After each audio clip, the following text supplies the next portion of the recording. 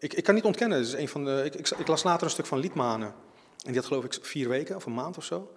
Ja, bij mij was het goede drie weken. En, en ik moet zeggen, het was het zwaarste wat ik ooit heb meegemaakt. Maar dat is ook een gedeelte, zeker twee dagen heb ik behoorlijke angst gehad, ja.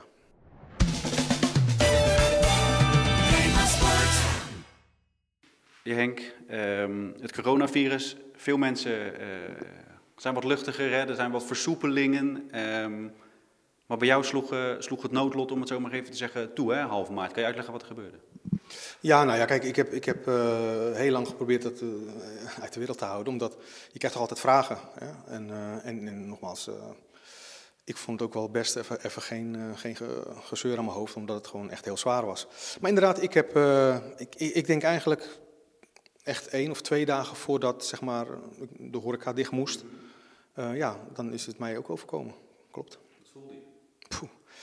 Ehm, ja, eerst, eerst was het bij mij in eerste instantie was het gewoon koorts. En ehm, we hadden zelfs nog een, een meeting hier bij, bij Sparta. En ehm, toen belde ik ook Henk van Stee, heb ik aangegeven van, ja, ik weet, ik denk niet dat het iets bijzonders is. Ik voelde me niet heel rot, puur koorts.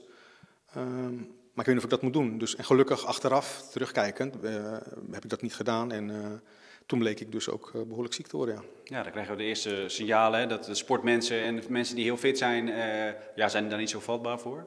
Eh, maar dat viel behoorlijk tegen. Nou, misschien ben ik niet zo, niet zo fit. Ziet het er beter uit als dat het daadwerkelijk is.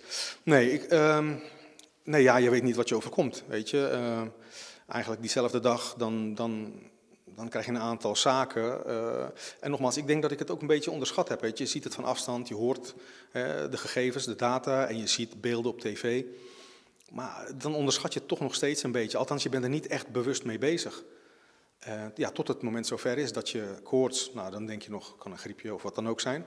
Ja, en later komen al die zaken die dan daadwerkelijk besproken zijn in de, ja, pff, hoofdpijn. Eh, hoofdpijn was iets wat ik nog nooit heb meegemaakt, zo'n hoofdpijn. En natuurlijk, daarna heb je je longen, maar ook pijn over heel je lichaam. En inderdaad zag ik stukken van mensen die aangaven dat alsof je een knietje had gehad in je rug. Nou, dat was zo bizar, de druk op je rug, op je borst.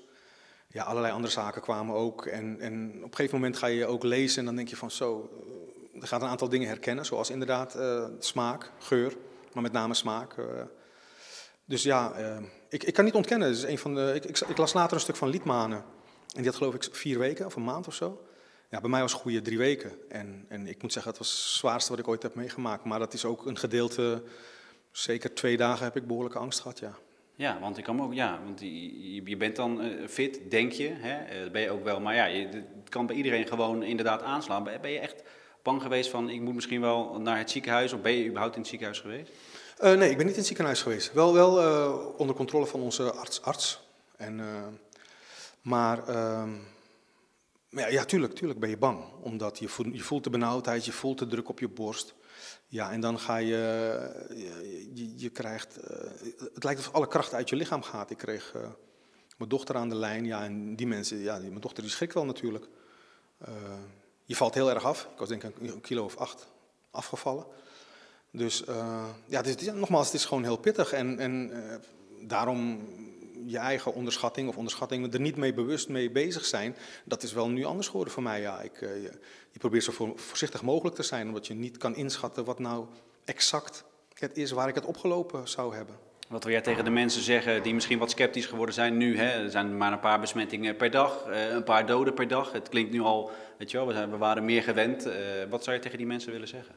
Ja, ondanks dat het weet je, aan de betere hand lijkt te zijn, volgens mij is dat ook zo. Ehm, ja, ik, ik kan alleen maar zeggen, eh, ga niet te nonchalant ermee om. En ik geloof in Nederland wil je natuurlijk ook heel erg vrij zijn, ook in je bewegingen. Maar ik, ik denk echt dat je het niet moet onderschatten, weet je. En eh, aan de andere kant, ik kan het wel zeggen. En ik hoop dat ik al is het 1% kan beïnvloeden. Maar alsjeblieft onderschat het niet, omdat...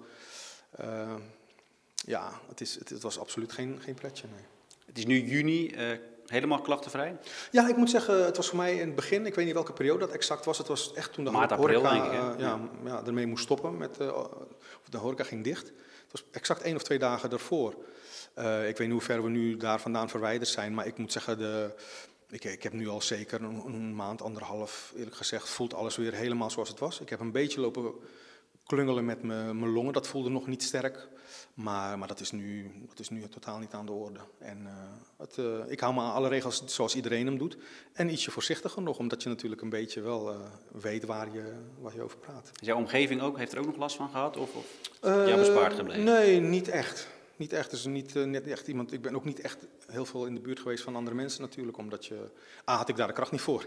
En, en, en B, eh, ja, eh, was het ook niet nodig, omdat ook eigenlijk hier alles dicht was. En hier zit je toch vaak het meeste.